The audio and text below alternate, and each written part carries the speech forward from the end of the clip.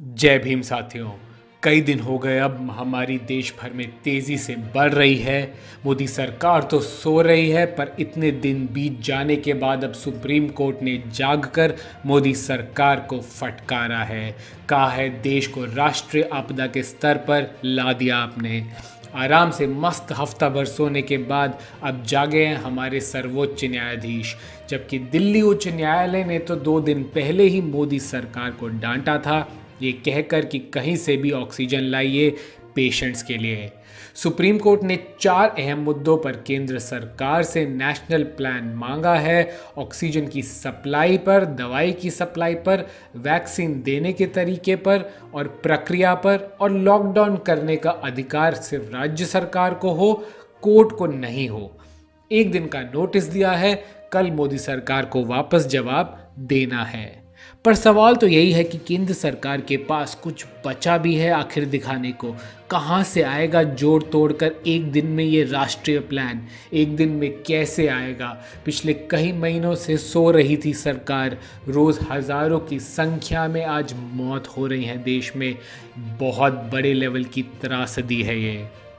दिल्ली, मुंबई, सिक्किम, कोलकाता, इलाहाबाद और ओडिशा छः high court में अभी महामारी पर सुनवाई चल रही है। सुप्रीम कोर्ट की बेंच ने कहा है कि ये कन्फ्यूज़न और डाइवर्जन कर रहा है।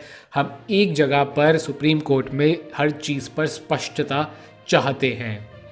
दिल्ली हाईकोर्ट ने केंद्र सरकार पर तलख टिप्पणी करते हुए कहा था, गिड़गिड़ाइए, उधार लीजिए या फिर चोरी करिए, लेकिन ऑक्सीजन लेकर आइए, हम मरीजों को मरते नहीं देख सकते। आप उद्योग से अस्पतालों में ऑक्सीजन की आपूर्ति को स्थानांतरित करने के लिए इंतज़ार क्यों कर रहे हैं अभी तक?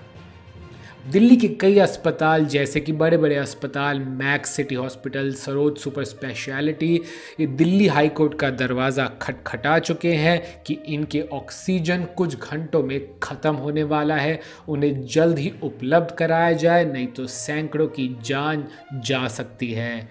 इसके बाद केंद्र सरकार सत्ते में आई थी और दिल्ली के अस्पतालों में अतिरिक्त ऑक्सीजन उपलब्ध कराया गया था। वहीं आज प्रधानमंत्री नरेंद्र मोदी ने देश भर में ऑक्सीजन की आपूर्ति की समीक्षा करने और इसकी उपलब्ध, उपलब्धता को बढ़ावा देने के लिए एक उच्च स्तरीय बैठक की अध्यक्षता भी करी। मीटिंग में कहा कि ऑक्सीजन की जमाखोरी पर तुरंत सख्त कार्रवाई करी जाए और राज्यों को ऑक्सीजन की आपूर्ति बिना बाधा के सुनिश्चित कराई जाए। ताज़ा खबरों के मुताबिक गृह मंत्रालय ने ऑक्सीजन ले जाने वाले वाहनों को अंतर्राज्य आपूर्ति की फ्री इजाज़त दे दी है। सरकार इतनी बुरी तरह विफल हुई है कि ऑक्सीजन, दवाइयाँ और बेड्स उपलब्ध कराने का काम अब लोग एक दूसरे के सहारे से सोशल मीडिया के ज़रिए कर रहे हैं। केवल एक दूसरे पर ही निर्भर हैं अब। सरकार पर विश्वास आज ना के बराबर है। आमतौर पर जब सरकार विफल होती है तो आम इंसान न्यायपालिका को आशा की किरण की तरह देखता है। पर सर्वोच्च न्यायालय पिछले कुछ सालों में ज़्यादातर सरकार के पक्ष में नज़र आया है। क्या इस बार राष्ट्रीय त्रासदी के समय कुछ बदलेगा? चाहे थोड़ा सा ही बदले। हम आशा करते हैं कि सरकार होश में आकर अगले एक दो दिन में ही कोई गंभीर कदम उठाएगी और सभी देशवासियों को राहत की सांस मिलेगी। आपसे एक स्पेशल अपील है, ये पब्लिक हेल्थ अपील हम कर रहे हैं कि आप अपना ध्यान भी खुद रखिए, खुद सुरक्षित रहिए, बाहर मत जाइए, कम से कम जाइए मास्क पहनिए, दूरी बनाए रखिए, हाथ धोइए और हो सके तो किसी की मदद ज़रूर करते रहिएगा।